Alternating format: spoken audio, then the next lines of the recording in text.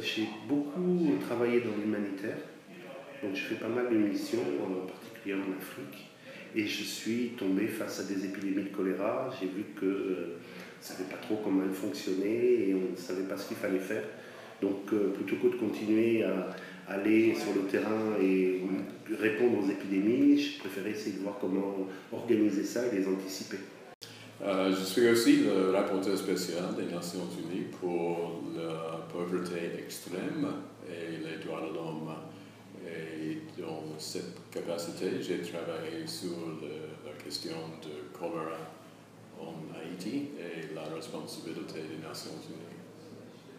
Uh, the reason that I'm uh, here is I had written this uh, book, uh, Deadly River, about a cholera epidemic that appeared in Haiti in 2010, and that subsequently it was discovered that UN peacekeepers had brought this disease to uh, Haiti. There was an investigation by French epidemiologist Renaud Pierrot on this, and he, entered, he uh, solved the mystery but along the way, there was much uh, cover up, much uh, obfuscation, and uh, he had to uh, deal with a lot of unusual forces in order to complete his scientific investigation. So he, now years later, is in the process with his group in Haiti of eliminating the disease.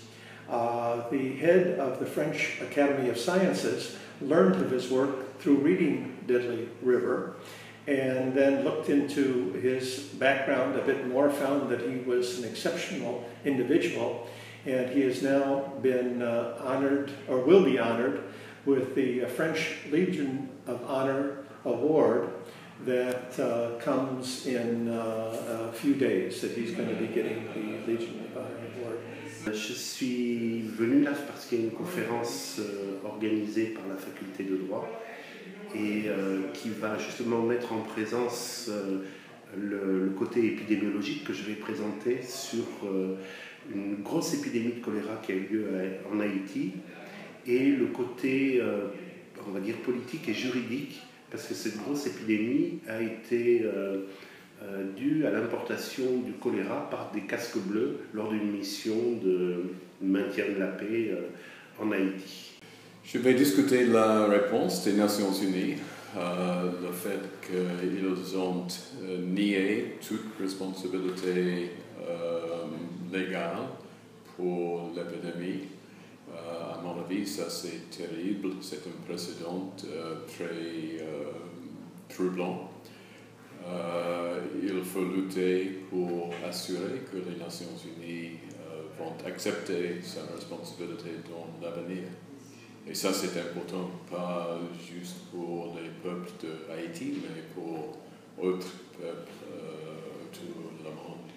Ce que j'attends des étudiants, c'est qu'ils soient le plus documentés, parce qu'on a déjà discuté avec eux sur ce qui s'est passé, et qu'ils euh, essaient d'en savoir le plus possible. Les questions qu'ils vont poser, c'est celles que j'aimerais poser aussi, qu'ils en sachent le plus possible sur ce qui s'est passé dans le couloir de l'ONU, pour, euh, parce que c'est quand même une, sale histoire. Hein. Il y a eu plus de. En fait, officiellement, il y a eu 10 000 morts, mais probablement euh, plusieurs dizaines de milliers de morts, et euh, officiellement, personne n'est responsable. I think that um, I like to have, uh, especially students of law, learn more about epidemiology and that the basic uh, uh, field that uh, often is used to justify whatever illegal activities may have gone on. And so if it turns out that there is an outbreak of some kind or another, they may be called in to compensate victims of that outbreak, or in this case, an epidemic in a uh, impoverished country, the impoverished country of Haiti. And in order to come up with any kind of compensation thought, or uh, even the legal framework for dealing with this, you have to know something about the basic uh, uh, events of what it is that took place. And uh, that's what this book, uh, Epidemiology, uh, or the book Deadly River talks about, is the epidemiology of cholera and how Renan Perrault solved this problem. Tout d'abord, les droits de l'homme sont importants. Deuxièmement, les gouvernements du monde, y compris le gouvernement français, euh, plus particulièrement le gouvernement des États-Unis, ne euh, sont pas disposés de respecter les droits de l'homme. Euh, troisièmement, il faut lutter pour assurer que, ces gouvernements sont forcés de, à répondre aux critiques donner justice aux victimes.